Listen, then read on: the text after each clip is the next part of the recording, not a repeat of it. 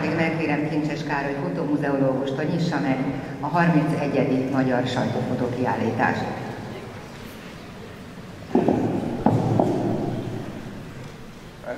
Nem egy hálás dolog uzsonna előtt utolsónak beszélni, de hát ezt kifogták. Üdvözlöm a győzőket, a résztvevőket és mindenkit, aki most figyel ránk. Dolgozatom címe szavahihetőség és túlélés. Néhány dolgot biztosan ígérhetek így a megnyitó előtt. Egyrészt, hogy nem lesz semmi protokoll a beszédemben, kettő, hogy nem lesz bántóan hosszú, és három, hogy nem próbálja meg az ünnep szőnyege alá söpörni a meglévő problémákat. Hogyha ebből a háromból legalább kettőt megvalósítok, biztosan jól jár mindenki, és én sem kavarom magamat a nem igaz mondók táborába. Ami igen fontos sok szempontból is, de most itt főleg, és azért, mert az ünnepi beszédem két központi gondolatának a szavahihetőséget és a túlélést választottam. Minden kornak van egy vagy több kulcsszava, mely leginkább jellemző. Amennyire figyelem a mai tendenciákat, szinte a legfontosabb kategóriává vált napjaink Magyarországában ez a fogalom szavahihetőség. Embereknél és képeknél egyaránt. De itt most csak a képekkel foglalkozunk. Ha alkalmam nyílik megnyilatkozni, mint például most, akkor én bizony mindig elmondom, hogy többre tartok egy tisztességes, ám de semmi hű sajtófotót, mint a legbravúrosabb, legblikfangosabb, de a hitelességében kicsit is kérdéses másikat. Mert nem felejtem el, hogy a sajtófotó elsősorban a hiteles tájékoztatás képi eszköze kellene legyen optimális esetben, és csak másodszorban fotoművészeti produktum. Ám hogyha ez a kettő véletlenül találkozik, hát az isteni szerencse. Ezzel lehet akár egyetérteni, lehet akár vitatni, mindkettő helyén való, csak legyen polémia. Érvek, vélemények ütköztetése, az ütközetek a hatalmi szó helyett. És ez mindjárt átvezet az általam választott másik kategóriához, túlélés. Ha lehetek egy másodperce személyes, akkor elmondom, ezt annyira gyűlölöm, amennyire csak egy szót lehet, miközben meg folyton folyvást minden nap, minden órában csinálom. És ettől egyre rosszabbul érzem magam a bőrömben. De ennél persze többről van szó itt természetesen.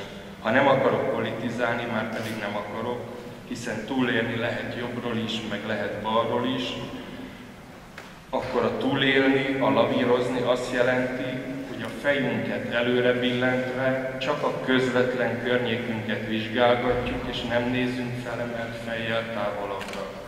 Azt is jelenti még, hogy nem a dolog önértéke alapján döntünk, hanem ehelyett egy prominens helyen lévő személy dönt a lenni vagy nem lenni kérdéseiben. Túlélni mindezeken túl még azt is jelenti, hogy az elsődleges és fontos szakmai szempontok helyére betolakszik egy pragmatikus, nem a dologról, nem a szakmáról, hanem a túlélésről szóló szempont. És ez az ász, mert ez most minden visz. Szavahihetőség és túlélés. Önmagában is vizsgálhatok még sokáig, de vajon van-e köztük bármiféle kapcsolat? Szabad-e az egyik kedvéért engedményt tenni a másik kárára? Mert a túlélés azt is jelenti, hogy nagy valószínűséggel a szakmai, morális és egyéb szempontok parányi devalválódnak, átadva a terepet egy látszólag sokkal fontosabbnak. Túlélni, csinálni, bármi áron befolytatni. Biztos? A sajtófotó is erős átalakulásban van. Persze ezzel nem állítottam semmi falrengető nagy igazságot, na, ha minden változik körülötte benne, akkor ez is nyilvánvaló. De az már korán sem annyira magától értetődő evidencia, hogyha a minden, tehát a létrehozói és a befogadói környezet, az elvárásrendszer, a technika és ezen keresztül a sajtófotó egészen változik, alakul, akkor hogyan lehet ennek a három lábon álló több mint 30 éve fungáló tradicionális pályázatnak, kiállításnak és évkönyvnek, továbbá minden egyébnek, ami körülveszi, elkerülni a változást. És lehet, hogy a túlélés mindennél fontosabb kényszere látszólag csak a teljes struktúra toldozgatásával, fordozgatásával teszi lehetővé, de én mégis azt mondom, álljunk meg egy percre. Lehet, hogy tovább jutunk, ha kiemeljük a fejünket, az ismert mindennapi és nagy bizonyossággal sejthető holnapi szempontokból, gondokból, és értő, szerető szemmel, de elfogulatlanul megnézzük, mi maradhat továbbra is az eddig jól beváltakból.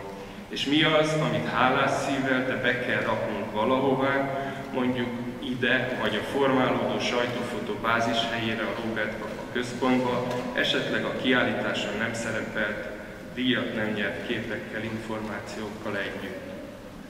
Végig kell gondolni minden részelemét és az egészet is. Mióta figyelem, majd hogy nem a kezdetektől, a sajtófotó azóta görget magával megoldatlan problémákat. És ezek száma csak szaporodik, sokasodik az idővel. És némi megélt tapasztalattal a hátam mögött azt gondolom, hogy könnyebb egy lavina elindulását meggátolni, könnyebb még csak egy kisebb fajta hógolyó nagyságnál megállítani, mint a lejtő közepén elébe állni széttárt kar, karral és fenebátran azt kiáltani, állj! És hát, hogyha most valaki azt gondolja, hogy ez a KK ezt ide hívtuk, hogy beszéljen ünnepít, és most ilyeneket mond, nos, attól elnézést kérek. Mert nem ünneprontó akartam lenni, hanem szókimondó, szavahihető, és nem a túlélésre blazérozó. Ennek elmondása volt az én vállal dolgom, a többit pedig folytassuk fehér asztal mellett. Uff, én beszéltem, a kiállítás meg meg van nyitva.